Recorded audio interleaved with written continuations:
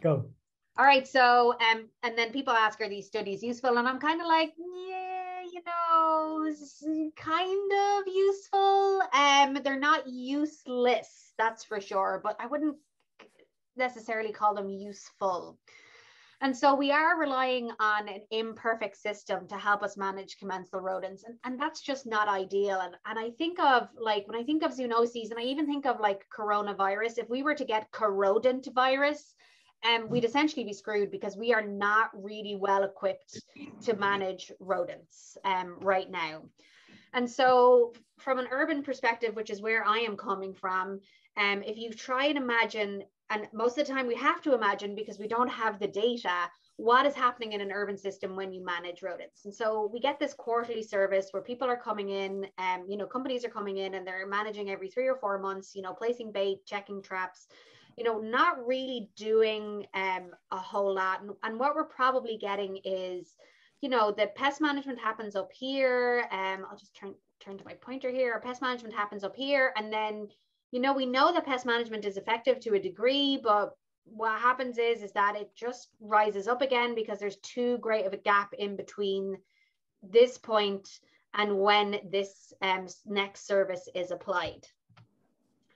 Now, ideally, in like a monthly management system, which would be way more frequent, um, you would get, you know, you would get probably, you know, this fluctuating population but probably the amount of time where you manage the rodents is probably not it's probably still too long or at least we hypothesize that it's too long. And, and it's not just because of the management it's probably because we're missing out on a step. So we're missing out on what we're calling complete rodent management. Now I'm not sure you can ever reach this complete rodent management or you know a kind of a threshold of none, which is kind of what the acceptable threshold is for commensal rodents. You know, when people ask you how many rodents are too many rodents in a restaurant, the answer is zero. Um, and so what's happening here is is that you know maybe this is sanitation maybe it's more appropriate management maybe it's more integrated pack, um, practices, not just sanitation, but maybe like habitat modification, um, exclusion. And what that does is it drops your equilibrium to a level that's much, much lower. And maybe that's because there's more management, or maybe it's because you've maybe removed resources that are available to the rat. I d- I don't know. We just don't know. The important thing to remember is, is when it comes to a rodenticide exposure, is that if you have this system, or even worse, this system, all you're doing is growing back the rats, poisoning more of them, sending more of them out into the environment, and repeating the cycle over and over and over again. And that's kind of important to remember because what happens down here is instead of poisoning all these rats and then growing all the way back up again, what you have is a much smaller um, increase in population because you have what's more complete management. And what's interesting about this is that this actually might take well, more frequent applications of pesticide, maybe not necessarily more pesticide, but more frequent applications of rodenticide to actually achieve this, which is kind of a little bit maybe backwards than the at least the idealistic IPM principle. And so these are kind of, you know, models that are in were in my head and I've been showing these diagrams for a number of years and now we actually have some real life data and surprise surprise we're actually getting something similar um, in the in the wilds of the urban environment when we look at these um, the tracking tunnels that we have um, and the information we have on, on rodent activity in areas before and after management um, in this area here is, is, is a large HOA that we're in in Southern California. And you can see that we have a pretty strong response to our bait, but we still have quite a lot of activity. This here is just our, um, our a control site where you can see there's like a natural increase in the population um, over time and you know it's not at least reflected in this. Now we do have more data but it will make your your mind explode and we're still trying to figure it out. And, and we have different treatments in different sites um, but we, we're seeing the, these pretty strong responses to our management which is good. And i'm going to talk a little bit more about this project in the future. But i want to talk about this imperfect system a little bit before we move on. So even though we're getting a, such a strong response to um, our management, we still have tons and tons of activity. So why do we have so much activity? Well, commensal rodents have what we call neophobia. They're afraid of new things. Although I'm not really sure it's neophobia. It, it, I think there's maybe a difference between neophobia and, and, and avoidance, but it's hard for me to communicate that because we don't really know a lot of it. And so in our research, we're finding that the discovery of bait stations placed in people's yards and the entry into those bait stations is highly variable. So discovery and entry are two different things. Discovery is when we know that the animal is at least in the same like view, camera view as the bait station. Um, and entry is when we detect the rodent actually entering into that bait stations. And they can be, like I said, very variable and highly delayed. And we've seen this when we've looked at toxic bait and non-toxic bait. And so when we've looked at toxic bait, which is this graph, we can see that you know the, the response between discovery on the um, here and then entry is is highly variable. So we know that they discover the bait station fairly quickly, although it could be significantly delayed. Um, and even if you look at um, here, you can see like it could be up to about two weeks till like like a, a like the large majority of our bait stations are recovered or are entered, sorry, discovered. If you look at entry, entry is is is is where the the rodent actually gets killed potentially, potentially. And you can see that it is also highly variable and also can take a really, really long time. And not only does it not take a long time, is that we're finding that a huge proportion of rodents, even though they're discovering bait stations, they're not actually entering into them either, which is a big issue because for rodent management in urban areas, we're almost exclusively relying on the application of either baits or traps inside bait stations. Now, we also looked at that, this um, kind of response in relation to non-toxic bait as well. And we looked at this in, in um, bait stations that were on the ground and bait stations that were elevated um, in um, an NPMA, a, a Pest Management Foundation funded project. And we found exactly the same thing, even with non-toxic baits So like there's, there was like, there was, we didn't test them at the same time, but we saw kind of similar responses. And so realistically, figuring out neophobia is the key to success potentially for rodent management. So it mightn't even be like this kind of IPM idea. It might be that we need to just focus on very basic ideas of how do we get the rats um, in these stations and whether we kill them with pesticides or traps, that's not really part of the question right now. It's how do we even get them into the bait station in the first place? Because rats only entered between 37 and 70% of bait stations that they visited, which means between 30 and 60% of bait stations that they encounter, they never even go into. And so we're trying to figure out what's going on here, but we think that maybe the fact that we have even though we are reducing activity with our bait stations, the fact that we have so much activity is related to how the rodents are reacting around these devices. So whether it's neophobia or avoidance, there's definitely something going on. Now, recently I conducted some preliminary work with my colleagues from Orange County Vector Control um, and um, our colleagues from New Orleans Vector Control as well, um, where we looked at rodenticide resistance in California. Now, we only looked at rats from Orange County um, and we only looked at one particular mutation in the VKORC1 gene, which is the, the gene that is um, responsible, or we know at least has is responsible for resistance in rats in um, across the world. And what's interesting about this is that we found the Y25F um, mutation in a significant proportion of our rats.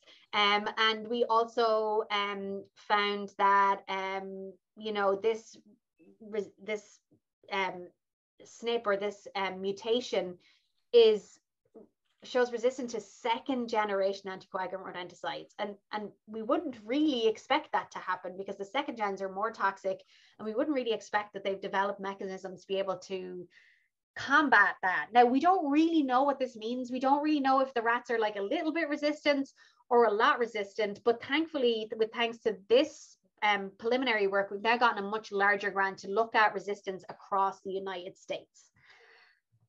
Now, I want to move in a little bit about why we would study rodenticides and rodenticide exposure um, and, and talk a little bit more about this because we don't really have a whole lot of time left. And one of the reasons why we would do it is because we were finding pesticides and things that they're not supposed to be in. We would not expect rodenticides to be in any of these animals, um, although you could kind of, you know, it's not a big leap to see that birds of prey could eat um, you know rodents that are exposed to rodenticides you know our predators could eat um, animals that are also exposed to anticoagulant rodenticides but then you have things like this, like the Canada goose. Like um, we, we wouldn't really expect Canada goose geese to be, um, you know, exposed to anticoagulant rodenticides, although they are.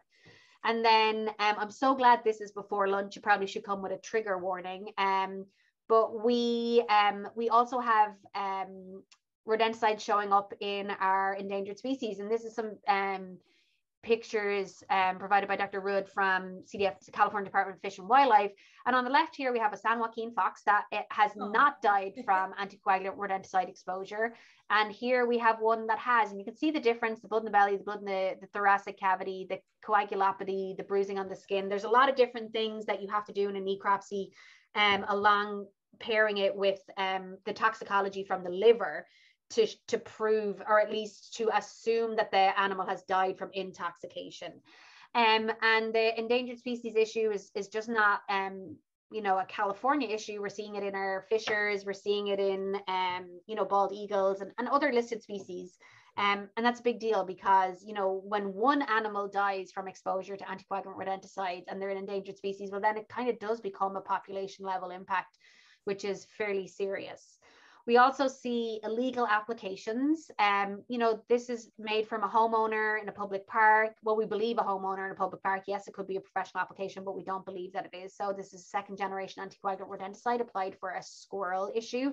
Um, you know, there's so many violations here. I we couldn't even get into all of them, but like for one of them is it's restricted use. You're not supposed to apply it if you're a homeowner. The second one is, is that you're supposed to apply it in a bait station. And the third one is, is that it's not registered for use on California ground squirrels. So not a big deal.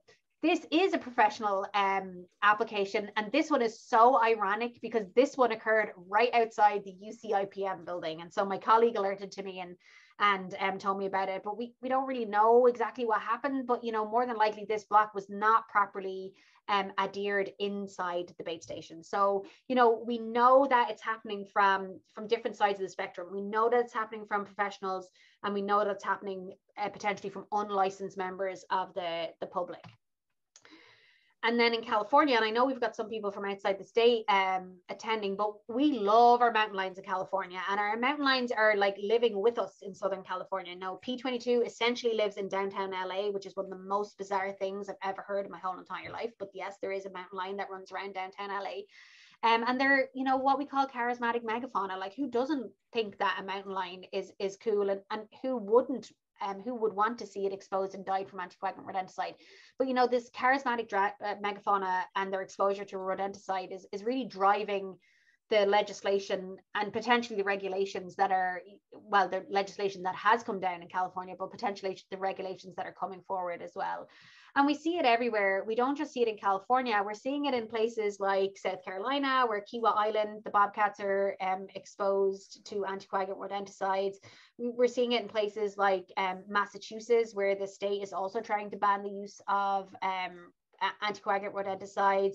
You know, we see it in places like Georgia, where we, you know, there's lots of, you know, there's papers coming through like, you know, 80% of bald eagles um, um, exposed to anticoagulant rodenticide and like a bald eagle um, exposed to a pesticide is almost like burning the American flag. Like, I mean, it's, it's just, it's almost just difficult to think that something could happen to like such a species. And then there's, there is a body of literature as well that talks about anticoagulant um, exposure in our predators, in our, our birds of prey, and then there's also these papers that I kind of oh on our or sorry endangered species, but also these papers that I kind of alluded to before, where there's like things that you wouldn't expect to be exposed to anticoagulant rodenticide are exposed. So like non-raptor birds, you know, things like songbirds and you know pigeons and all sorts of things that you just wouldn't really expect to be exposed to anticoagulant rodenticides because they don't eat rodents essentially, or maybe they're being primarily exposed and we just don't know how.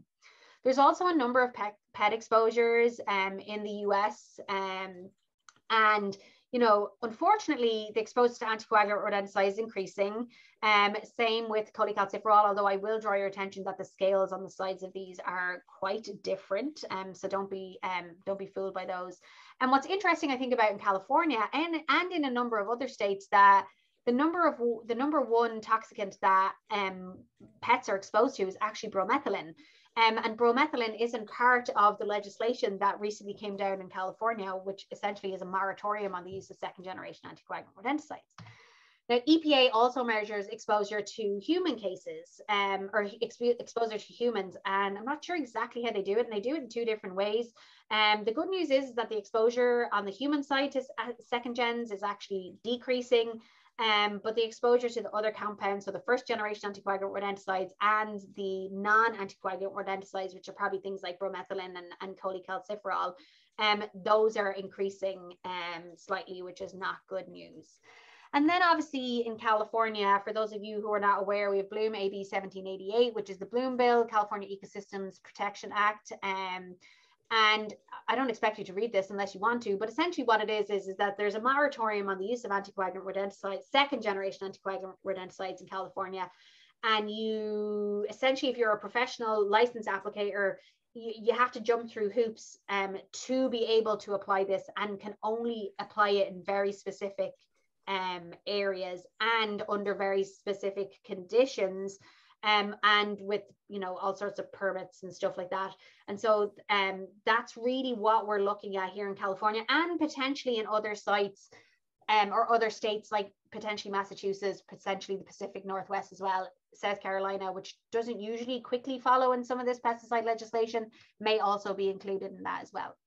However there is kind of a flip side to all of this exposure there are rat infestations all over the place. And I mean, I see that more so probably than anyone where we're seeing all these rats in all these places that like I don't want to eat anymore. I would never, if I had kids, I would never send them to schools and they definitely wouldn't be eating school lunches. It's it's kind of crazy. You know, we know that there's increased disease. Um, here in LA, um, you know, it's some of these kind of ironic, you know, at City Hall was overrun with rats and we had typhus and we have typhus in downtown LA. I mean, it it blows my mind that people would want to come to these places. They're so dirty and so filled with rats. And the same with New York, you know, and um, the the cases of human leptospirosis are increasing in New York. And you know, is it weather related? Is it rat related? Is it trash related? We don't know. You know, we have plague in California. It's unlikely that you're going to get plague from a roof rat in California, although you could get it from a Norway rat. And I did actually just talk to my colleagues that we have two seropositive coyotes in Southern California. We're still waiting for oh, confirmation from PCR. Oh, um, right on. I would say it's unlikely um, that it actually happened, um, but that it, they're actually positive, but they could be. I mean, it's just kind of scary to think that our disease surveillance in some of these species is just below par, really. Oh. Um, oh, and then yeah, at the CalEPA headquarters, um, you know, they, you know, like the center of oh, the place that was essentially, you know, regulating and, and you know, part of the, the legislation oh, efforts and um, just, just blew my mind. Like they had rats, they were using anticoagulant rodenticide, they failed, they had to, they started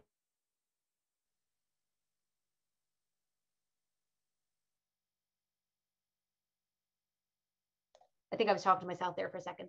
Um, but anyway, so the, the um, there is also a growing body of literature on um, diseases and allergens, and you have to remember that um, you know um, early onset of, of, of asthma in sensitized children has been linked to exposure to rat urinary proteins and mouse urinary proteins. And it's something we don't really know a lot about um, in roof rat country, which is kind of more the Western United States and the Southwestern United States as well. Um, and so we have some literature on that. Um, we have, um, you know, information on ty- typhus, um, Seoul virus, so kind of old word hantavirus, um, you know, in cities and places like Vancouver. If you haven't checked out the Vancouver rat study yet, I highly recommend it. It is a fantastic study and some really great studies from New Orleans as well, looking at some prevalence of, of rodent diseases also. Um, and then there's schools. And I just, it blows my mind, people, that there are so many rats in so many schools in California. I just can't even begin to tell you how disgusting these places are. Um, this is a picture of, of a maggoty rat that fell from a ceiling in a school in California. I don't think I'll ever forget it as long as I live. Um, and like this is just kind of normal kind of things that are happening in schools all day, every day. Like this is a rub mark. This is sebum from a rat that is on the railing that the kids are supposed to eat or use in the areas where they eat their lunch. And as that wasn't bad enough, there is uh, rat crap in the stove in the place that cooks their lunch.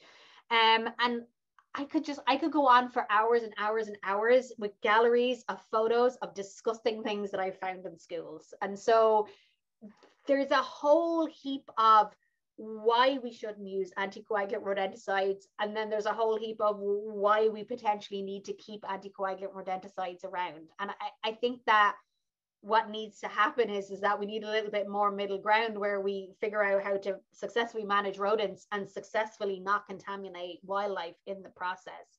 Um, but we have to make sure that there's like there is an issue with the d- disease and um, there is um, it's important that we we focus on that now you know, people and and like I said, there's definitely people on this call that are from outside state that will be like, oh, you know, California's crazy. Does pesticide does pesticide legislation even matter in California? And we know that California is the first domino to um, essentially fall here. So um, it is important because you know with things like the Healthy Schools Act, pyrethroid label changes, fipronil, things like that that have started in California um, and that do come to other states. And so it is important to consider what's happening in California, not in a vacuum, but in a, in a general sense.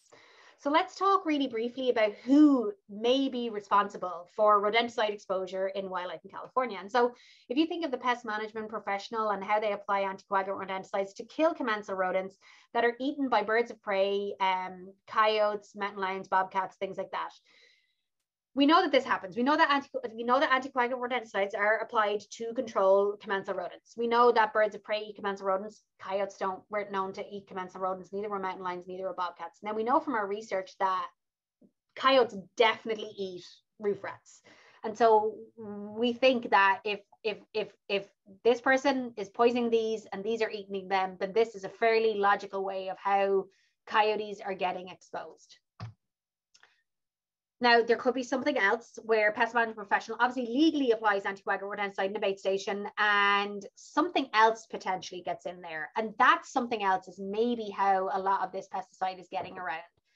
Then we have our vector professionals that can apply some amount of, cal- of pesticide or anticoagulant rodenticide. And you can see here in, in um, California, you know, we have um, approximate total pounds of rodenticide used, and, and some of them use um, a lot of anticoagulant rodenticides. Some of them use rodenticides, and not a lot of those are anticoagulant rodenticides. There are other methods, maybe um, acute rodenticides or fumigants or something like that. Then there's this cluster where, you know, a homeowner gets a hold of it and then just there's no sometimes you get these pesticides online there's no label there's no instructions you just throw them out there and then it's just a free for all okay? So this is not ideal. And by the way one of the ways we think that mountain lions are getting exposed eh, to anticoagulant rodenticide is this way.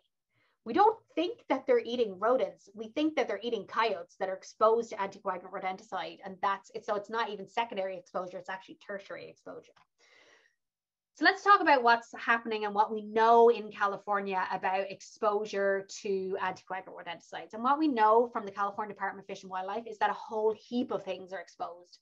Not necessarily dying from their exposure, but certainly exposed.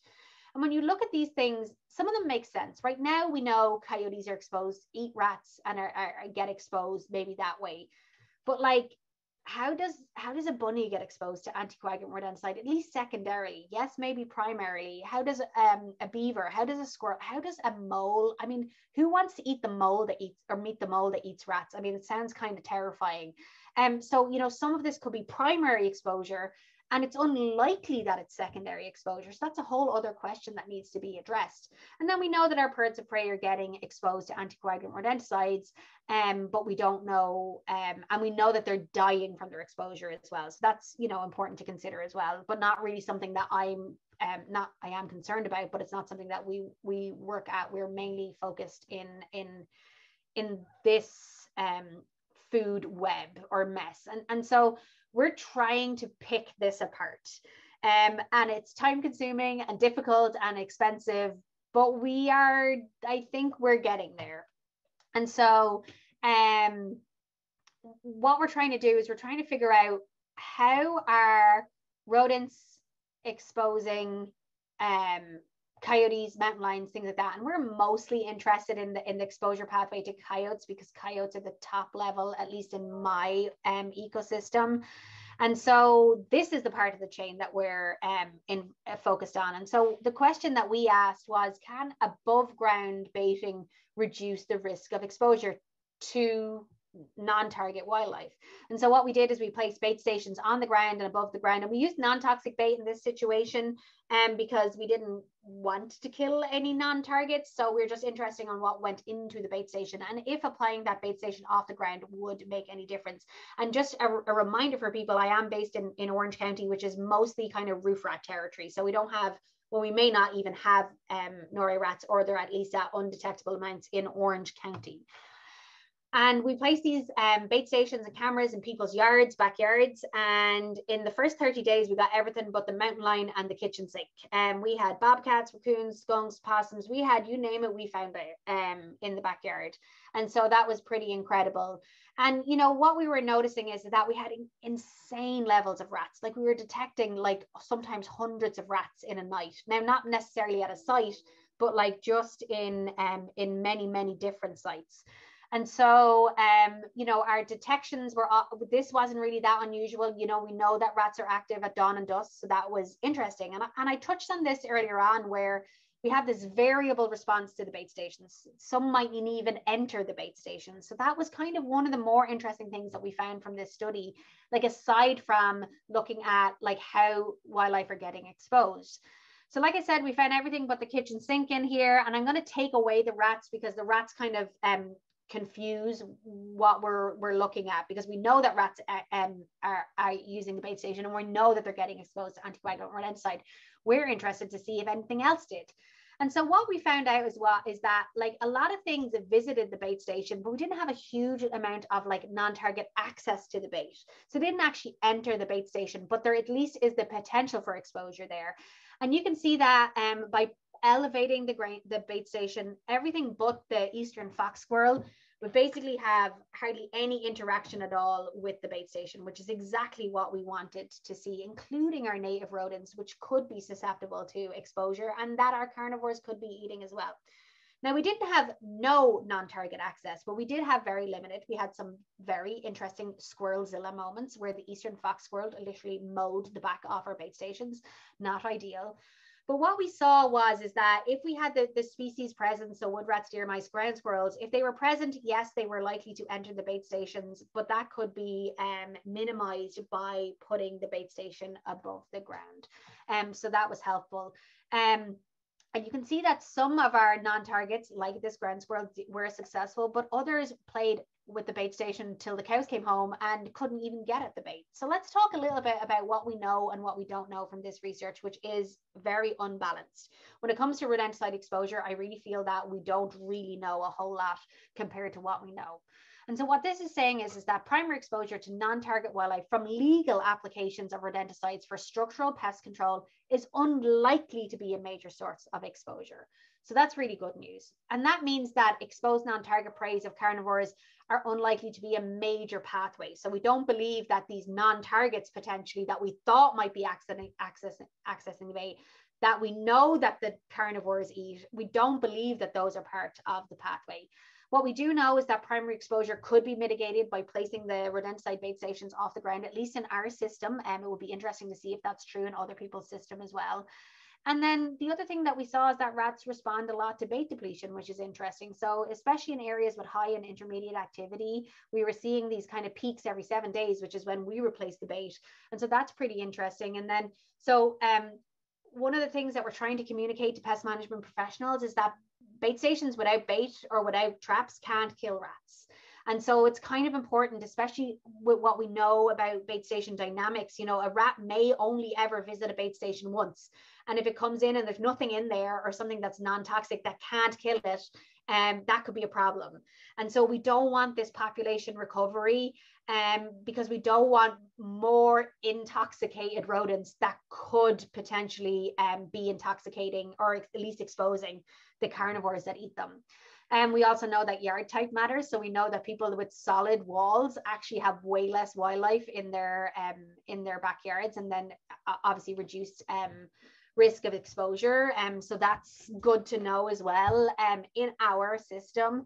And then once again, figuring out this neophobia is, is the key to success because we need to make sure that we're killing these rats and that they're not bringing their populations back up again. Now, the other thing that we looked at is we looked at like um, what might be scavenging dead rats. And so um, our volunteers are pretty much the most, most amazing people in the whole world because they let us put dead, stinky rats in their backyard for seven days and monitor what came along. And we had all sorts of things that came along and things that make me think that maybe there's important other pathways that we're not even considering, like the invertebrate pathway. And so, like, that's something that we need to work on um, when I get five minutes, which is probably not likely anytime soon. So let's focus on how are urban carnivores getting exposed. So we looked at their diet in two different ways because we want to know what they're eating. And so we looked at like a hard part analysis where someone took the stomach apart from coyotes and basically picked apart everything inside it to see what was in there. Then we did, um, I don't know if you guys saw that video there, but we did the molecular margarita where Jen took everything that Danielle took away from the stomach and she put it in a blender, she blitzed it up and then she extracted the DNA and we looked at just in case we missed something.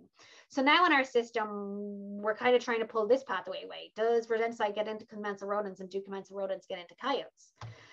We have so many coyotes in Southern California. That number 550 is probably at least 100 more now. And we get them from federal, state, county agency, pest management professionals. We get them from all over, but we're mainly focused in Orange and LA counties um, in Southern California.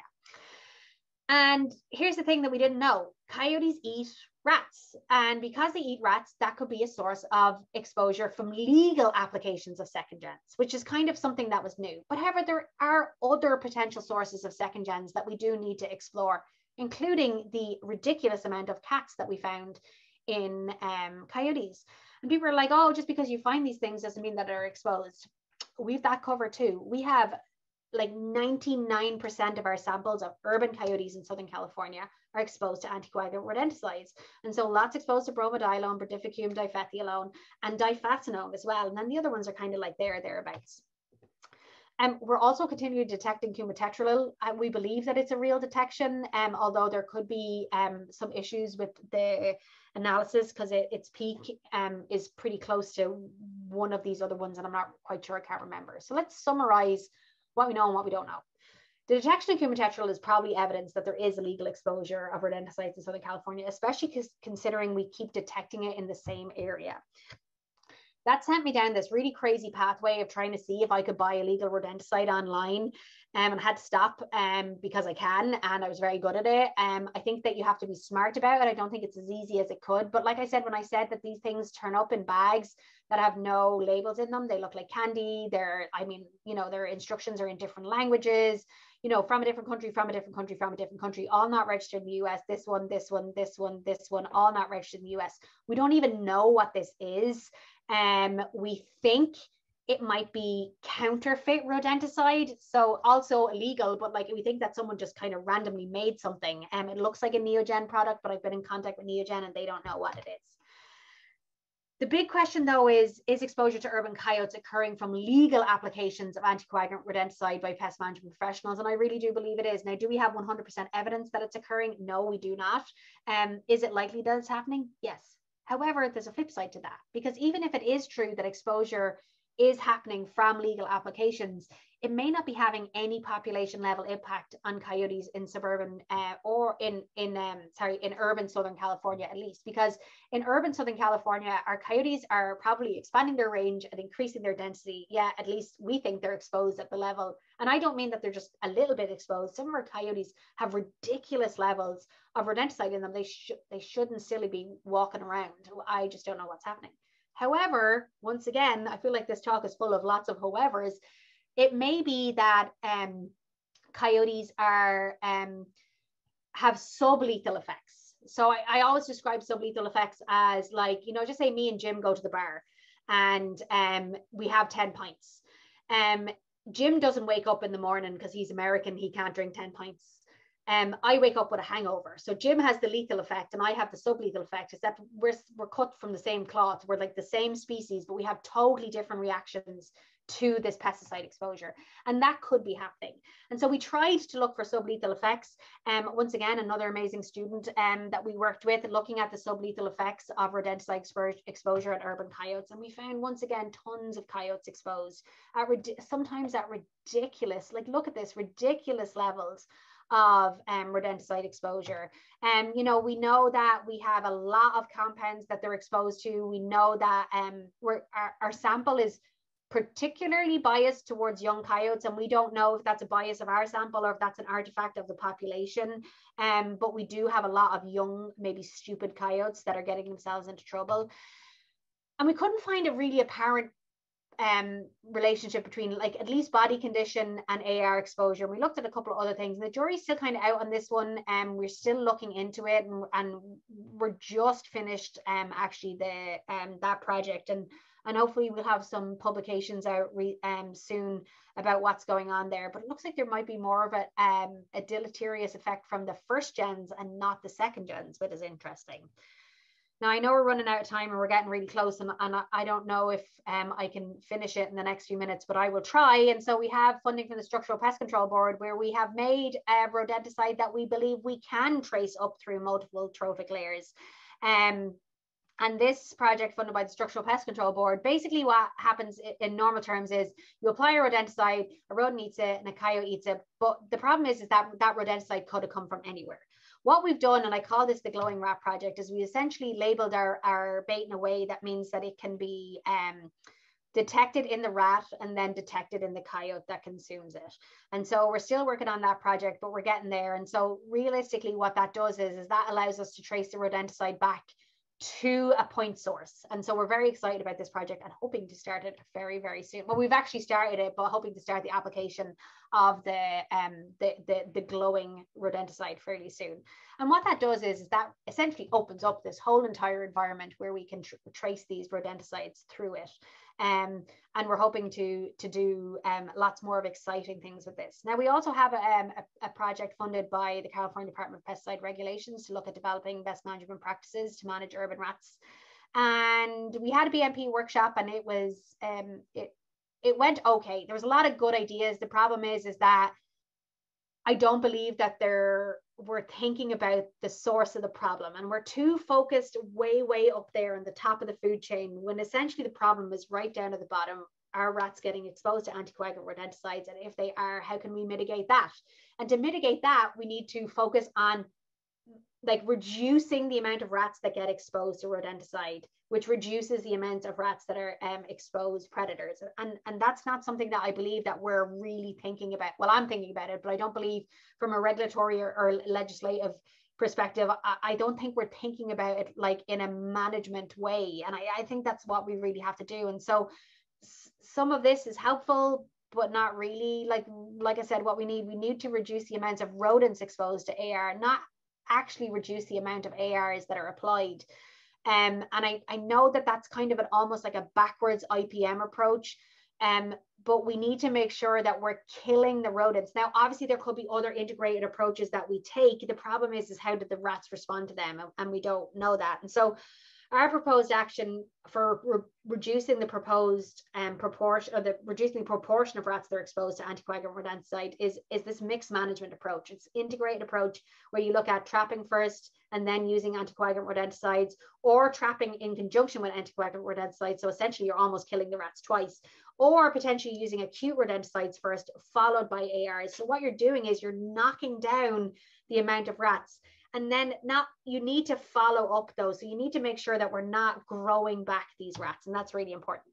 Now this is a very challenging um, program to achieve. And so basically what we're doing is we're testing how quick our management options can kill 10 rats 10 collared rats in different management systems. So one is second generation anticoagulant only, one is trapping only, and one is mixed management, which is trapping and anticoagulant rodenticide. And you can see just from our, our, our, video there, it, it involves this really complicated telemetry system that's got all these wires and computers and boxes and batteries and I'm really good now at stripping wires, which I did wasn't a skill that I had before. So that's helpful. And you know what we do is we trap and we collar rats and we let them go again. And so it's also a bit of a, a thing to um, you know, when we ask our partners, can we trap rats in their um in their area they're pretty excited to do so but when we tell them that we're letting them go again they're they're not so um keen about it but then in, in another backwards fashion, we are measuring how quickly we kill these rats. Um, and because um, you know the, our partners are happy to let us go come back when they realize that we're we're learning how to do this and what this is generating is data like this that you've seen um, me show previously which is this activity data where we are seeing fairly strong response to our applications but we have more um, you know we've more much more data in the pipeline we're also getting some interesting movement data um, I don't have time to get into this system. It's not 100% active, uh, accurate. Like I wouldn't be putting so much faith in it. But what we are seeing is like the distances that our rats are moving are pretty low. And so, um, sorry, we're, you know, this is kind of the data we see because we're mostly interested in when the rats die, not really essentially where they are in their home range. We just want to know when they die because if you're trying to measure the effectiveness of a bait application for commensal rodents, it's actually pretty difficult to do to figure out when they die. Um, and, and even then, it's hard to determine if that's what they died from. So we're kind of, I wouldn't say we're clutching at straws. I would just say that it's not the perfect system. Um, and so we're really excited. These two rats are definitely dead. And I know that, well, I know that one's definitely dead because I found it the other day. Um, but we assume that these two rats are dead and these ones are still alive after several months of management, which is just really interesting. Um, also working with my colleagues from um, Los Angeles County, the Ag Commissioners, um, Weights and Measure. I actually see one of them here um, today. And so they're helping us look at, um, you know, coyotes. And, um, you know, we're seeing that our coyotes that are likely exposed to anticoagulant rodenticides are living for a really long time. Um, and so that's pretty interesting as well. And then with some ag research, I don't really have time to get into it, but like looking at like um, how, where and when um, uh, California ground squirrels are, where are, what kind of levels our coyotes are getting exposed to, which is nothing compared to the urban system, which is interesting. So I would say in California, yes, ag is a bit of a problem, but I wouldn't say that it's the biggest problem. And so I would be less inclined to throw ag under the bus um, in this scenario. And so, really quickly, just to finish off, what lessons can be learned from California? Stab in the dark legislation regulations just don't work. They just do not work. We need to have data driven mitigation measures. And the problem with that is, is that we don't know what we're doing. And so rats are likely to be a major part of the rodenticide pathway. And so we need to focus on those, uh, on that. Like this is the main thing that I believe that we need to focus on if we're going to try and reduce rodenticide exposure. And the more we learn about rat management, the more I realize we know so little. Um, by the way, this is another photo from a school um, uh, of a rat that um, is no longer with us. Um, but it's important. We need to know, like we can't manage what we can't measure. And so, you know, the data that's needed to make better decisions is just not there. And one of the reasons it's probably not there is because there's not that many rodent people in the, in the United States helping us answer these questions. And if you don't know how something is broken, you just can't fix it. And so um, I'd like to thank um, my team. I don't have time to measure, mention them individually, but a number of students and staff and my collaborators at UC Davis and Cal State Fullerton. And we don't have time for questions. I'm already late for my one o'clock, um, but I would be really happy to answer questions. Um, you know, give me a call, send me an email. Actually, you can give me a call. I probably won't answer my phone, but I will call you back if you leave a message. And, you know, try and follow us on social media. And um, we're on Twitter at uh, SCUWM Council. And um, if you want to learn more about our coyote and our rat collaring work, you can find us on Instagram at Cosmopolitan Coyotes. And then we have a, a little bit of a write up um, on www.ucscurry.com. And then the most important person to thank is, of course, Jim, because we wouldn't have had this presentation without him. And I'm sorry that I had to go a mile a minute, but um, it's it's recorded at least, and maybe there'll be semi-accurate subtitles. So if you didn't understand what I was saying, uh, that might help out. So um, thank you so much, folks, and and sorry about the mix-up, and and hopefully, um, you know, hopefully, hopefully Matt's okay. Yeah, thanks, thanks, Niamh. That was fantastic, fascinating um, research, and I I can't I I don't understand how you can present that quickly, but that was fantastic. Yeah, it's it's in the genes, Jim. yeah. Along with along with the ability to consume 10 pints. yes. No, I don't have that ability. Uh, clearly. All right, folks. Thanks very much. And like I said, if anyone has any questions, just feel free to um, send me um, send me an email, or if you want to chat more in depth about like the response in your state or anything, I'd be happy to do so. Great. All right. Thanks, Nate. Bye, folks. See ya. Bye, folks.